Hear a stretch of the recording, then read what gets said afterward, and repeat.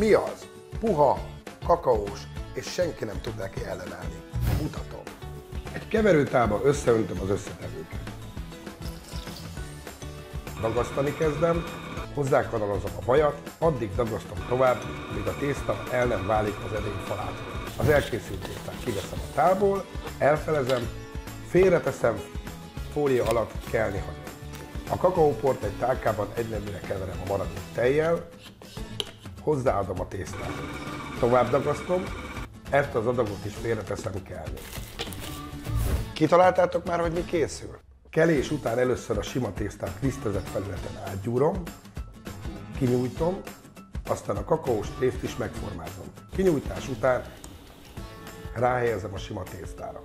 Feltekerem, és sütőformába helyezem, majd duplájára keresztem. Ezután megkenem tojássárgájával, majd előmelegedett sütőben készre sütöm. Nektek mi a kedvenc kakaós süteményetek? Írjátok meg nekünk kommentbe.